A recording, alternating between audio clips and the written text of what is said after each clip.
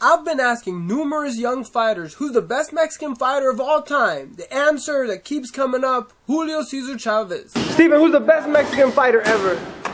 I really don't know. Who? Who? Who's Pac-Man, man. Okay, hey, who, hey Fernando, who's the best Mexican fighter ever? The best Mexican, does it have to be from all times? All time. Salvador Sanchez. And today?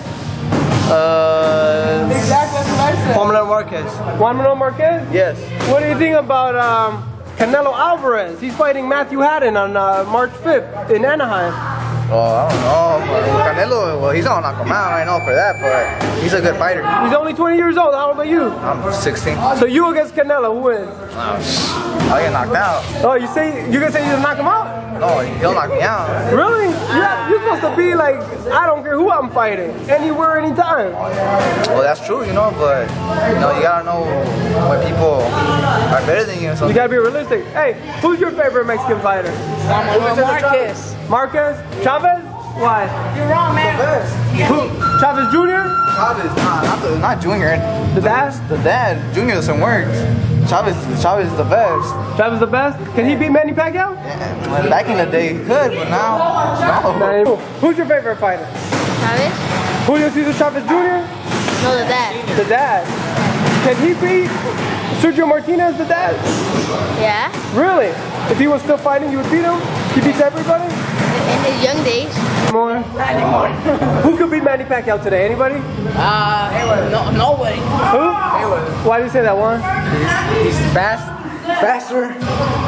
Um, he has better defense. And I don't know, better. So how you been, man? Good, and you? I'm good. Everything's good? Yeah, everything's good.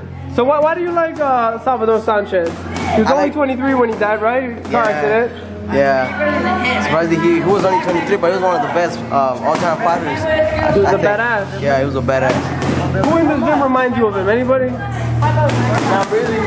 No, Jeter. Jeter, Derek Jeter? Oh, man. All right, let's see what you got. Let's see what you got.